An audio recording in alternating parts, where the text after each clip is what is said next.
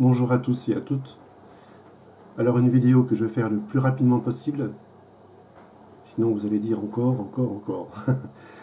Donc euh, c'est en même temps en réponse, euh, en complément d'une réponse que j'ai apportée à une personne qui est intéressée par une Zoé.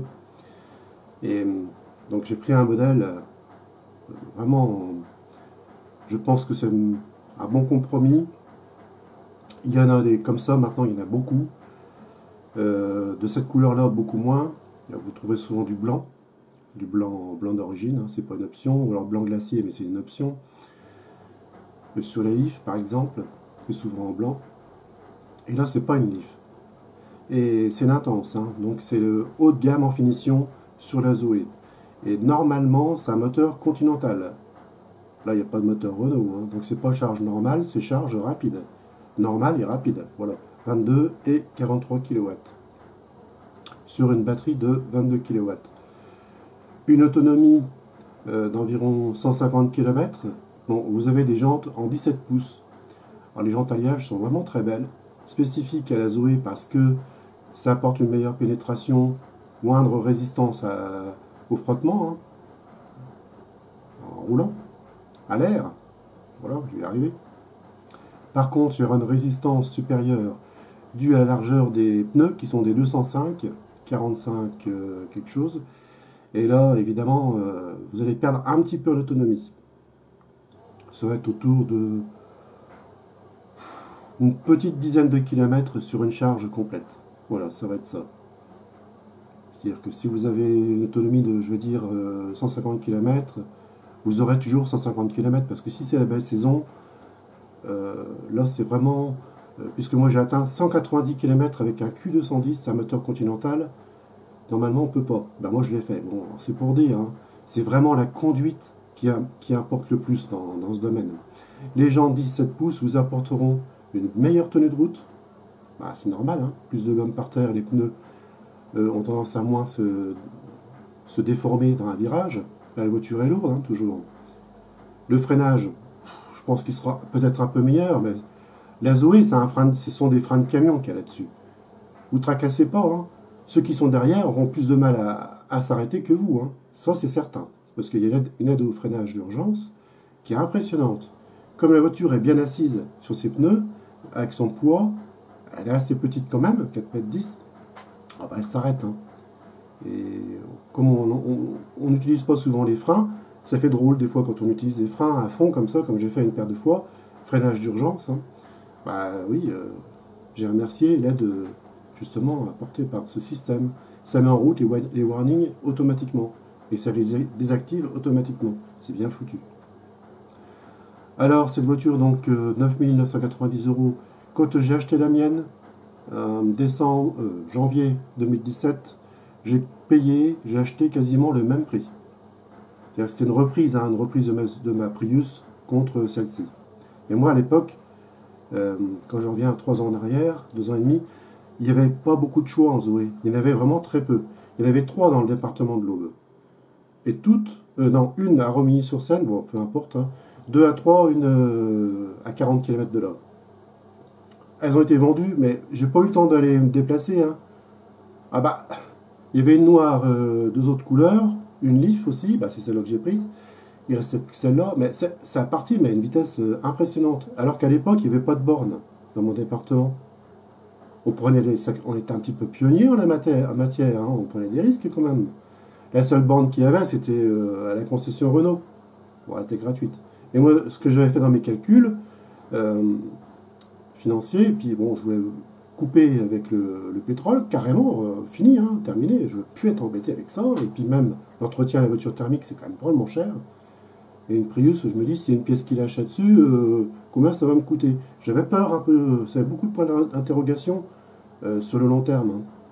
On met une somme une fois, est-ce qu'on pourra refaire la même chose euh, deux ans après? Ça, c'est pas évident. Hein. On sait pas ce qui peut se passer en cours de route. Hein. Donc on met de l'argent dans une voiture. Pour ma part, c'est pour la garder longtemps. Donc je me suis dit, l'électrique, de toute façon, c'est tellement fiable, je vais la garder longtemps. Et c'est ce qui se passe. Et je roule et je roule et je roule. Et aucun problème. Donc euh, pour revenir là-dessus, donc euh, j'ai pris euh, la finition Leaf. Il restait plus que celle-là. Dans un garage multimarque avec une garantie de 6 mois.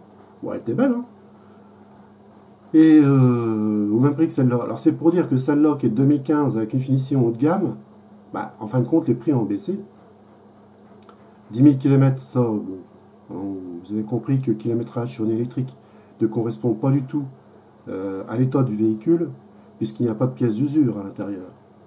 Il n'y en a pas. Tout est surdimensionné. Et le moteur électrique, euh, comme on dit maintenant, c'est un million de kilomètres. Hein. Vous vous rendez compte, un million de kilomètres? Bon, hein, c'est parlant. La batterie, même en location, c'est 500 000 km. Qu'elle soit en location ou pas en location, de toute façon, c'est ça. Voire plus. Mais bon, euh, ce qui fait que la voiture est accessible à l'achat, c'est parce qu'il y a une location de batterie. Oui, parce que s'il n'y avait pas de location de batterie, je pense que la voiture coûterait deux fois plus cher. Elle approcherait les 20 000 euros, peut-être même plus. Parce que c'est l'offre et la demande. Comme les Zoé sont très demandées, il euh, faut savoir que la Zoé, bon, je fais une parenthèse sur les ventes, puisque récemment, euh, bah, les journalistes sont donnés à cœur joie de mettre le chiffre en avant, c'est que la Zoé a dépassé les ventes de Tesla, modèle 3. La modèle 3, c'est un raz-de-marée euh, depuis février de cette année. Et, eh ben, la Zoé a rattrapé la Tesla 3. C'est pas le même prix, hein. c'est pas le même genre de voiture. Aussi bien en Allemagne, en France évidemment, hein, et en Italie. Ça, c'était surprenant parce qu'en Italie, ils sont en retard. Hein. Comme en Espagne, ils sont en retard. Euh, ça dépend des régions, euh, dans le domaine électrique.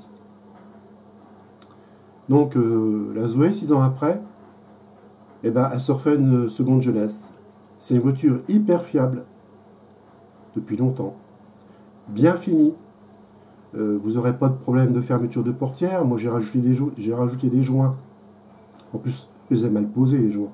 Oh, c'est pas grave. Euh, donc la portière fait pas de bruit de tôle. Bon, quand elle ferme, vous avez plein, plein de plein d'améliorations qui ont été apportées sur les Zoé. Elles sont vraiment très bien finies. Alors voyons de plus près. Donc euh, c'est la finition intense, vous avez tout, la totale. Détecteur de pluie, les phares automatiques. Et celle-ci, j'ai eu la surprise de voir qu'elle avait radar de, recul, donc les fameuses pastilles hein, fixées sur le pare-choc arrière, et une caméra de recul. Alors ça, c'est pas banal. Vous avez les deux. C'est la première fois que je vois ça. Je me suis dit, bah, est-ce que c'est l'annonce euh, Ils sont trompés ou quoi, encore une fois? Eh bien, on va voir ça ensemble. Je clique sur les photos. Alors, euh, les Zoé, hein, toujours. Donc, euh, j'ai en 17 pouces. Alors, ça la rend très belle. Ce sont déjà des jantes vraiment magnifiques. Ça va très bien avec la couleur de la voiture, en plus. Cette couleur-là, c'est une réussite. Ça fait un gris qui tire un peu sous le marron. Je ne suis pas daltonien. Et un peu glacier aussi, comme le blanc glacier de la Zoé des beaux reflets. Vraiment une voiture avec une ligne intemporelle. Hein. Elle, passe les modes, cette voiture-là. Elle est toujours aussi belle. C'est le capture, ça. Et je trouve pas qu'elle soit aussi belle.